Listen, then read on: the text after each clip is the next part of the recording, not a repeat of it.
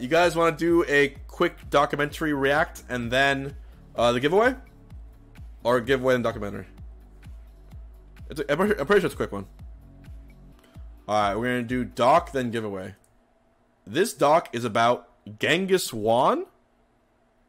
Oh, sh- so this is a melee one.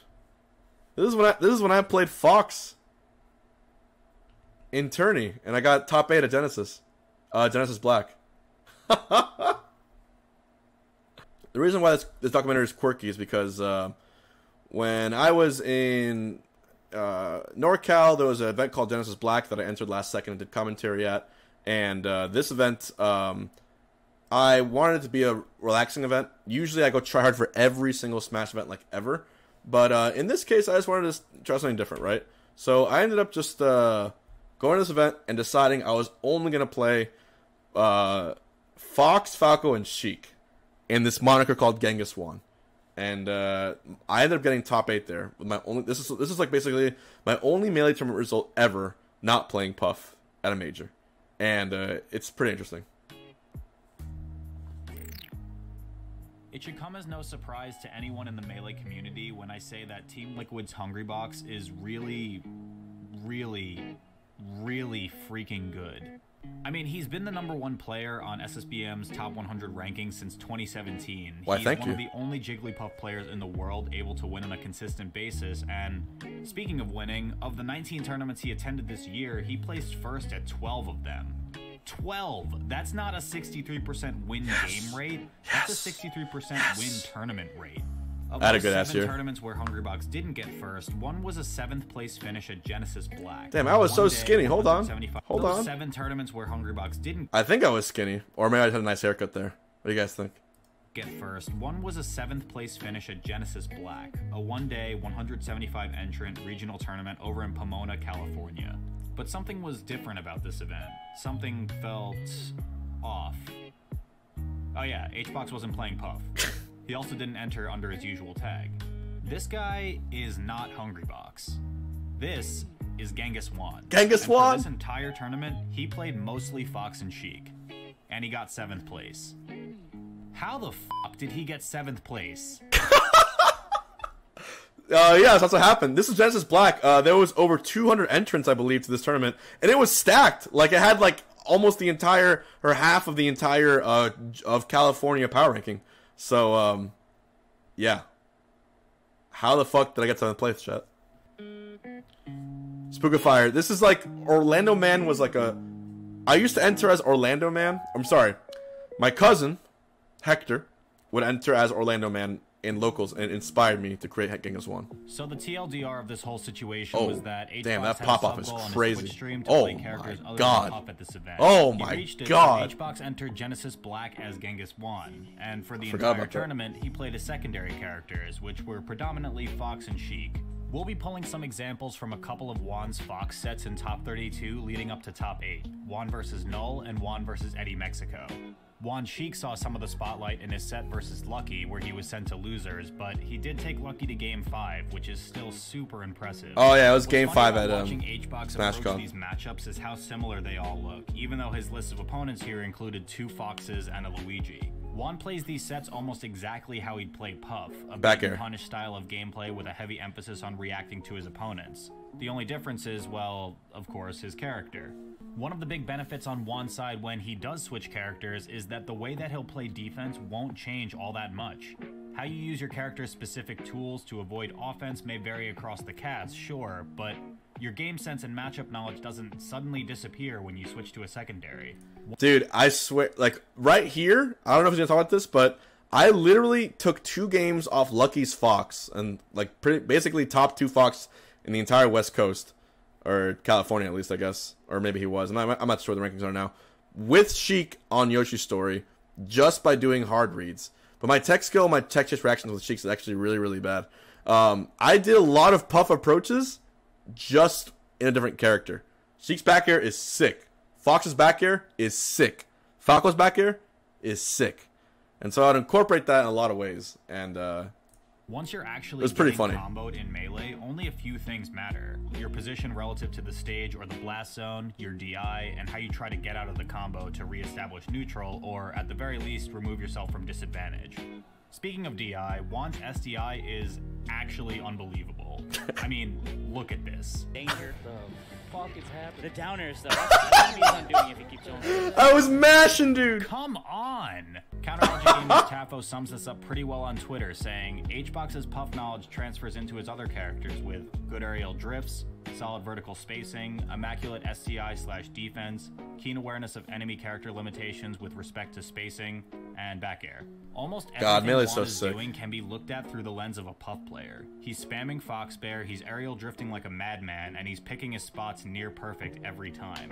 It's incredibly refined game sense under the guise of play that almost looks like he's figuring his character out as he goes, which can kind of look sloppy at times, but don't be fooled, it's just also insanely fucking good. I mean, I've seen some HBox plays that almost come out of nowhere and don't even look like they make sense. But when it comes to a player like HBox, when it looks like he's taking a gamble or a guess or figuring it out as he goes, it's mostly just a much higher level of game sense that I'm certainly not capable of reaching as a player.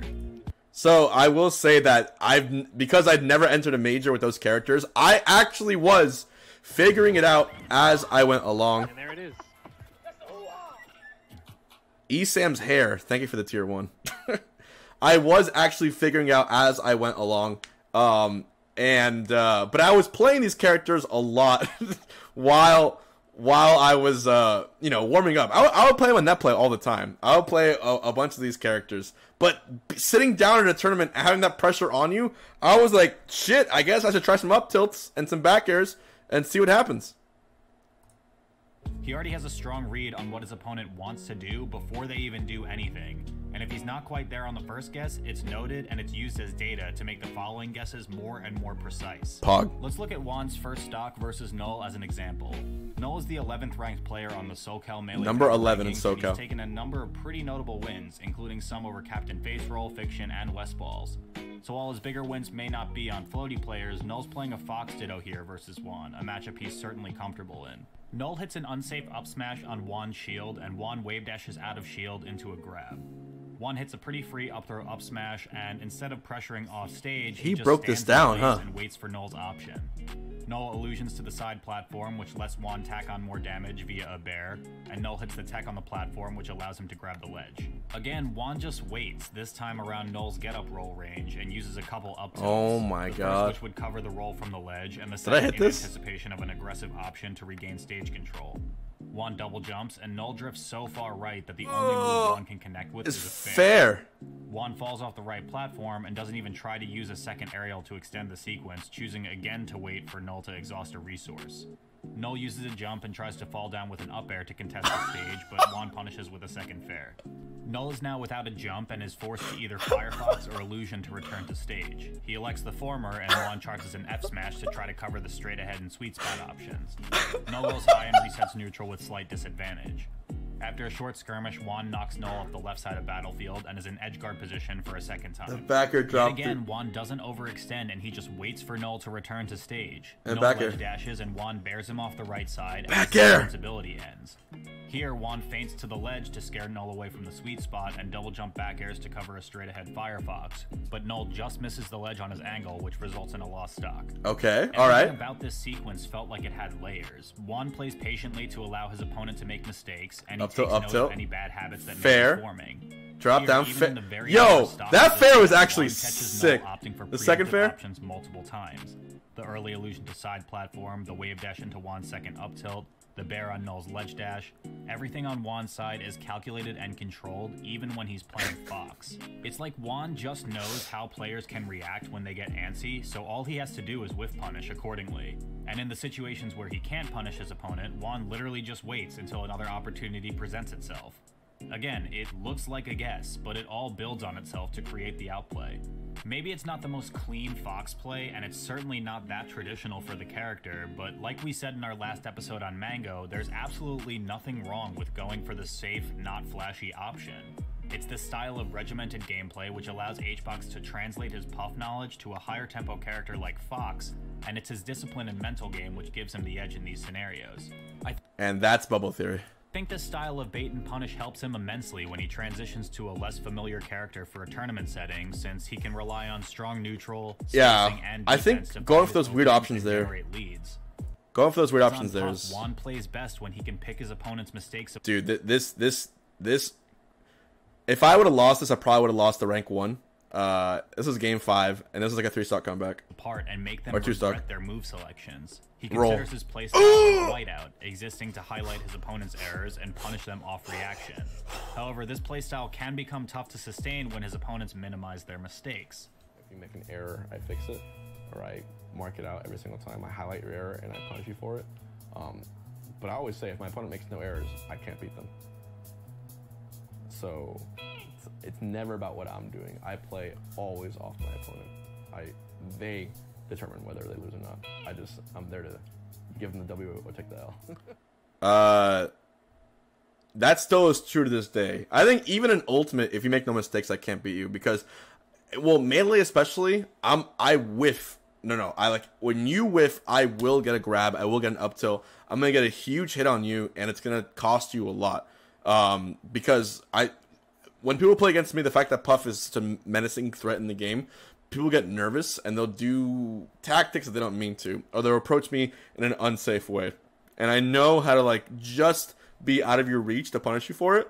Um, but like when a Puff is like on hot fire, it's just like, what am I going to punish?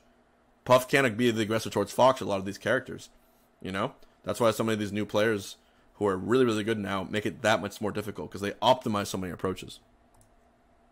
It doesn't really seem like he cares that much about percents either when he's on Fox, which, according to some Fox mains, is arguably one of the most important things to pay attention to when you're playing Fox. But there's still some great general decision making going on here, regardless, which carries him throughout the set. Take this up smash, for instance. Just go for it. Null goes for a Just go for it. after missing the tech here. HBox slightly charges an up smash and just lets it rip. Now, some Fox mains may assume that wouldn't kill here, but let's just examine this decision a bit more. Our netplay gurus in the comments would be right in saying that an up smash would have almost no shot of killing here, if it were uncharged. I mean, Null would have to hold all the way left for an uncharged hit to KO him off the left side.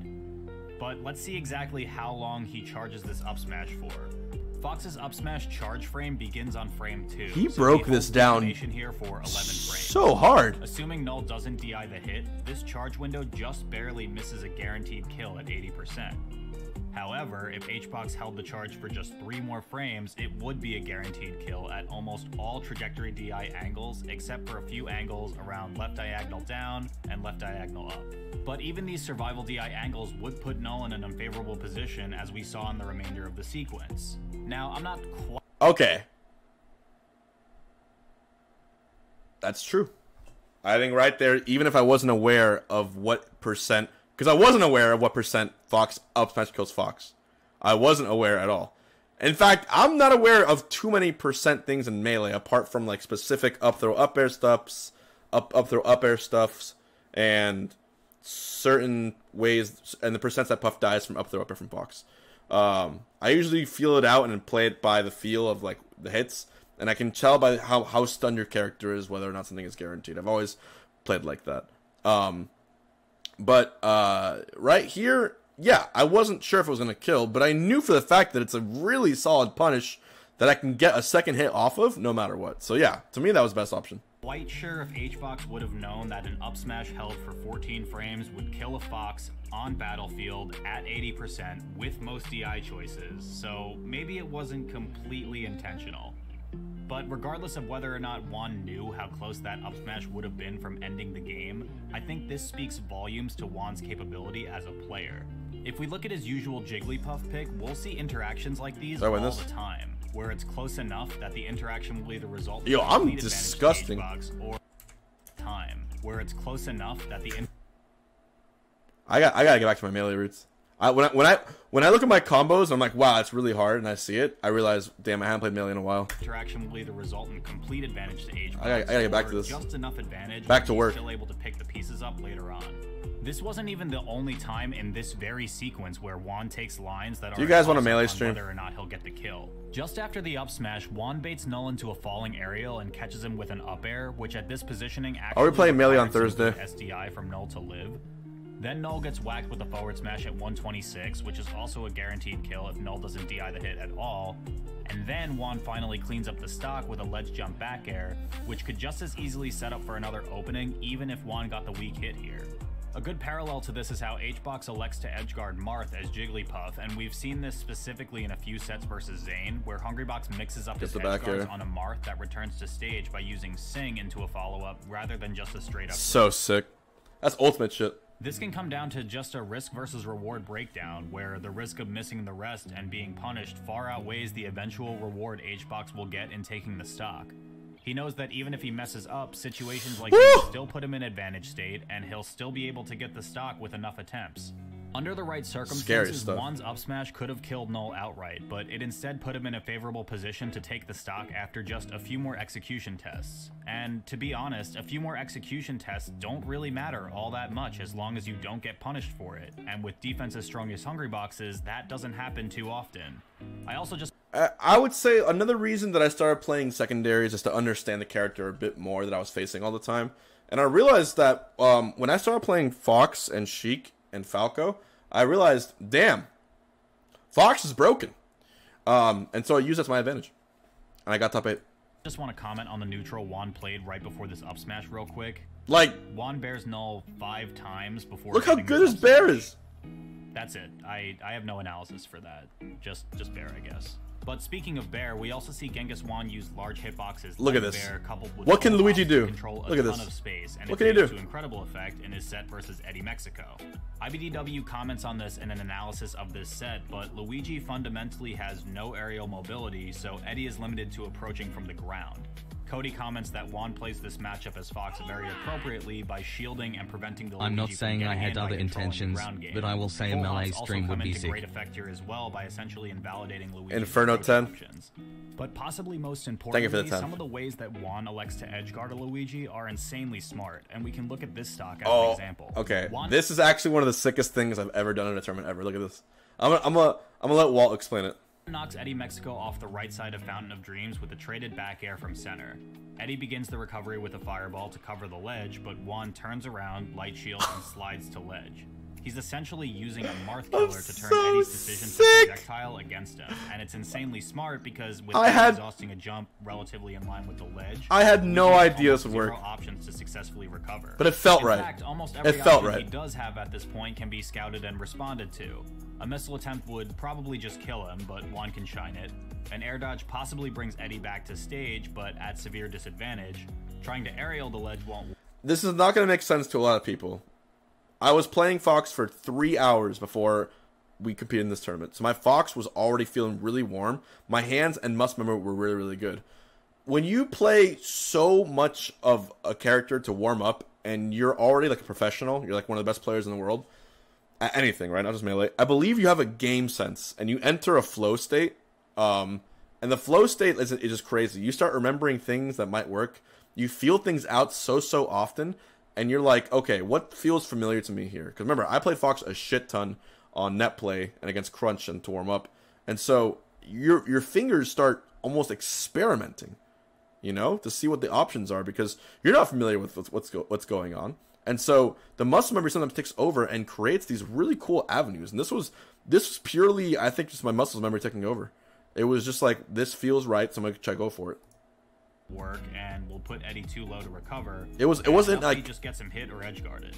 It wasn't active thought, right? It was the passive thought. You know, like the like the unconscious mind. I think there's like two minds, right? Conscious, unconscious. That was just the unconscious mind, or the su- subconscious. And he has so much time to do it with how he set up his positioning at the ledge. Not unconscious.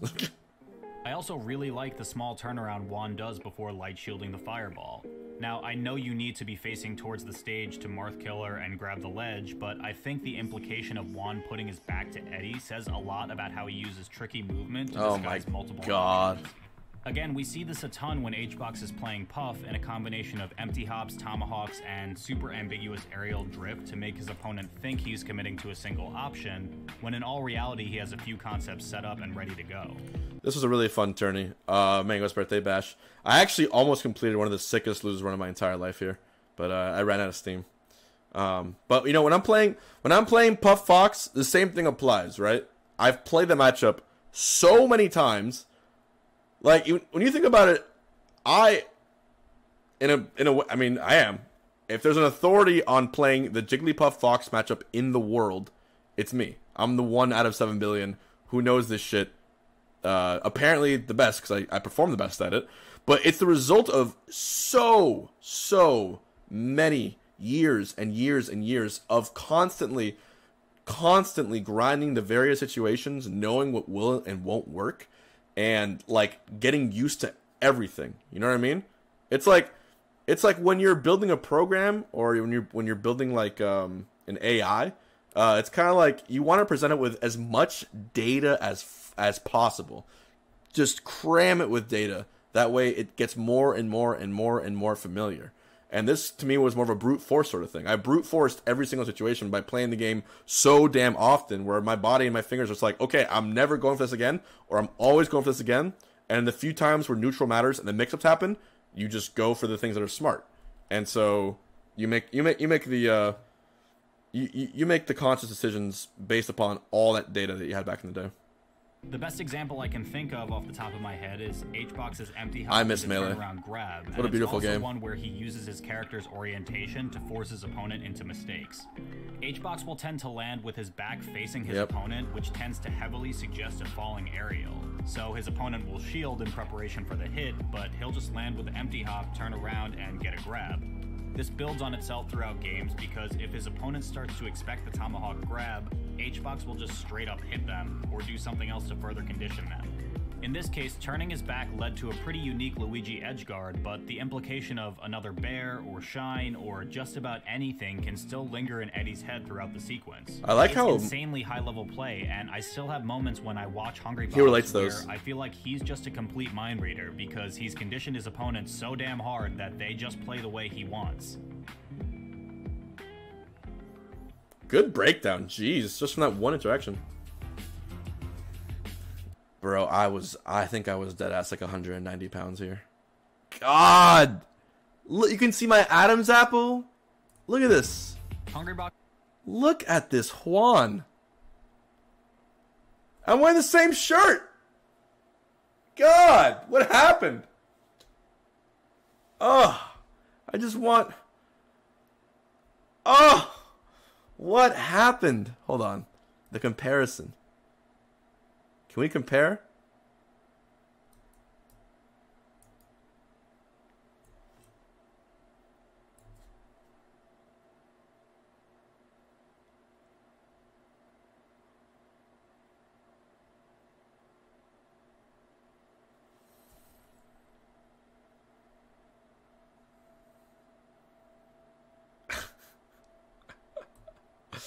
Oh, that's funny, man.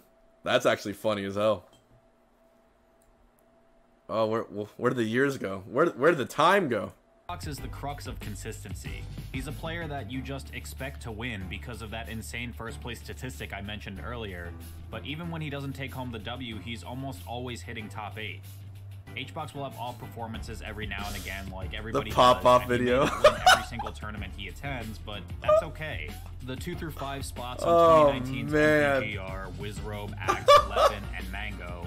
All of these players are certainly feared opponents, yes, but when it comes to the total package of who the biggest tournament threat is by the time this year ends, and perhaps even through 2020, I think Hungrybox is going to be in a class of his own. Genghis Juan is a wolf in sheep's clothing, or in this case, a, fox. fox clothing. Oh, I think a seventh place finish at Genesis Black using a Puff's vision of Fox and a Puff's vision of Sheik. chat. Can we just appreciate that play for a second? Ready for this? I think I have never played Eddie Mexico's Luigi in my life. Right? I'm trying to recover. seventh place. He grabs me. I do know that Luigi can get a spike off this from playing net play, right? So I think to myself, shit, I better tech this, otherwise I'm dead, right? Genesis So he gets the down air, right? Black. I tech that bitch, And what do I think? Well, you know what? I think I can still when I'm playing Puff and Luigi um, up B's me, I can crouch cancel that. So what if I crouch cancel again at 81? Can I just mash down smash out of this? Using a Puff's vision of Fox and a Puff's vision of Sheik should be more than enough evidence to push the. Tell me that wasn't gross. Tell me that wasn't some of the, the grossest. Ugh. Black using a Puff's vision of Fox and a Puff's vision of Sheik should be more than enough evidence to push the haters back. Oh, and by the way, I tech it and then I air dodge. Puff's vision of Fox and a Chat. Fox clothing. I think a seventh Air dodge back on. finish at Genesis. Tech, instant air dodge upwards diagonally to land down while holding down right here. Down smash. And a Puff's vision of And that's all she More wrote. than enough evidence to push the haters. All right. This guy is number one dirty. for a reason. His talent is undeniable, and even at a smaller event like this, Hungrybox just shows us how well a top player's skill translates across characters. For most Smash players, they simply can't survive facing off against Hungrybox. So when those players take their humble losses to the number one player in the world, they can now say that it wasn't just another Puff player that handed them that loss. It was a Fox and Sheik player too. The Genghis Khan song. Uh, and I'm gonna say this too. Noel, he's the guy in the white shirt right here. Um, Noel was playing so bad this set. This was uh, he actually apparently. I love Noel. Like we we played um we played uh, uh Foursquare outside at Summit and we were talking.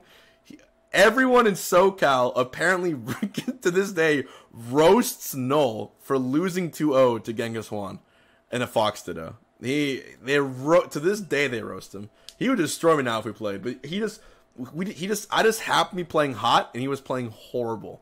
And so this started the legend of Genghis Juan. Um and it's just so funny, dude, because during the set you can see he's just shaking his head like in disbelief of the shit he's getting hit by. But in the words of Ultimate and every player that we always fight against that seems to get away with stuff, and then the SD or they cyclone off the ledge, or they miss fire off the ledge, or they miss an up smash, or they want to keep on trying to get me with a puff, or they want to keep on pushing me to the top tier, or they miss a punish on a rest, or they miss everything else that's possible to make my life a little more difficult. In the words of those players, we take those. We always take those forever and ever in anything that we do. Not just Smash Bros. I'm talking about in cooking, in car repairs, and everything. We take those forever and ever. Burrito Boy, thank you very much for the for the tier one to the Poco Loco. It's almost done. That's life. Fake it till Thank you make it, chat. watching this episode, and hopefully you saw the full top eight for Genesis Black. It was a super entertaining event, so if you haven't checked it out yet, I'll leave a link to the stream in the description. This show and channel are supported by Patreon. If you want to be a channel producer, please check the link out and take advantage of some of the perks. Yeah, if you guys like melee history content, turndownforwalt is actually super damn good. His Patreon's here. If this video goes on YouTube for this reaction, which it probably will, I'll definitely link it there too. Uh, amazing, amazing content creator, honestly. Good stuff.